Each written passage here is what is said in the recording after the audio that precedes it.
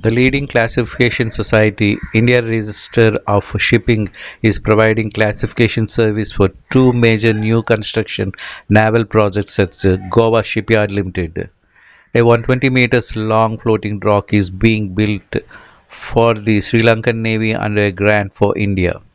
The design and construction of the floating dock will be certified by IRS, which will bring to bear its prior experience in certification of the floating docks.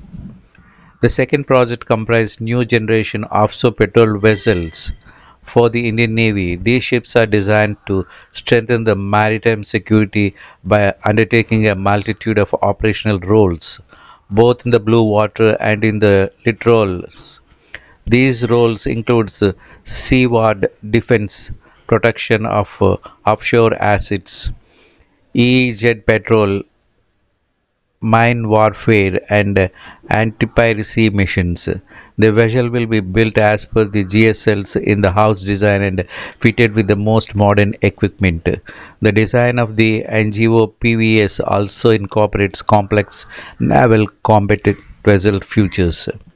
The vessels will be validated by a well-qualified IRS team experienced in technical analysis and strength studies.